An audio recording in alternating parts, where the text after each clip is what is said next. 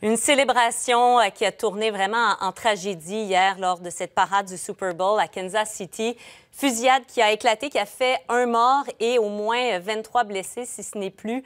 Euh, c'est selon le dernier bilan. Anne-Sophie, euh, on a maintenant quelques informations supplémentaires pour mieux comprendre les intentions du ou des tireurs. Oui, tout à fait. La chef de police de Kansas City, elle s'appelle Stanley Graves. Elle a finalement fait une mise à jour il y a, environ une heure où elle explique que ce serait un différent entre plusieurs personnes qui est à l'origine de la fusillade, donc une possible chicane. Elle écarte la piste terroriste pour le moment. Et euh, lors de cette mise à jour de la police aussi, on a également appris que les deux personnes, deux des personnes arrêtées euh, de la fusillade sont des mineurs et plus de la moitié des victimes ont moins de 16 ans, Marianne. Il faut dire qu'à Kansas City, hier, il y a plusieurs écoles qui avaient donné congé aux élèves pour qu'ils puissent assister à cette parade. Il y avait environ 1,7 million de personnes qui étaient là, presque la moitié hein, quand même de l'île de Montréal. Et aujourd'hui, on met aussi un, visage sur cette victime, Lisa Lopez-Galvin, qui était une personne vraiment aimée de la communauté là-bas à Kansas City, une DJ, une animatrice à la radio.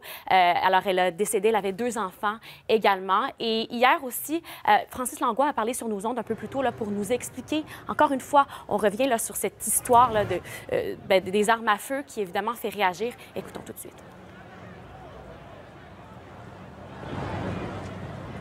Premièrement, elles sont faciles à se procurer légalement. Et euh, en plus, évidemment, ce qui fait qu'elles sont faciles à détourner vers des fins criminelles. Et si quelqu'un amène une arme à feu lors d'une altercation, il y a de très fortes chances que cette arme-là soit utilisée, surtout s'il est illégal. Et on rajoute à ça qu'au Missouri, on est dans un État qui, est de, qui a adopté des lois qu'on appelle de type Stand Your Ground, donc autrement dit, qui euh, facilite l'utilisation de la violence mortelle ou en tout cas de la violence armée pour se défendre, même sur la place publique.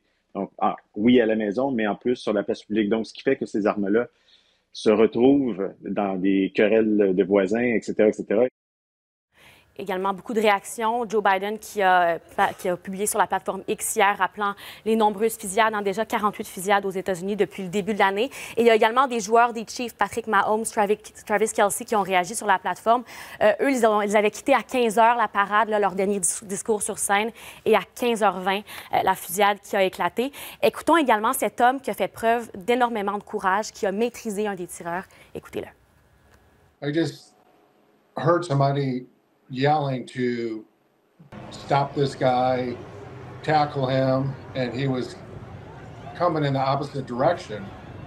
So I just, you don't think about it. It's just a reaction. He got close to me. I got the right angle on him, and I hit him from behind. And when I hit him from behind, I either jarred the gun out of his hand or out of his sleeve